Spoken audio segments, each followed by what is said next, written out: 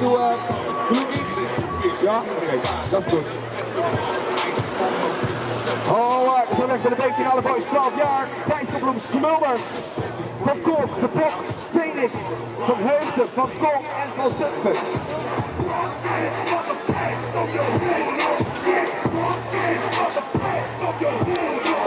Zo, Dijsselbloem gaat hier aan de leiding. Krijgt met zich mee. Oh, elleboog uit daar voor uh, Marijn Smulders. We zien er ook bij zitten 2, 6, 8 van Vin van Kolk, Joep de Bok en Lucas Steenis. Maar de winst gaat hier naar Rens Dijsselbloem. A-finale boys 12. Oh. Rink Welo.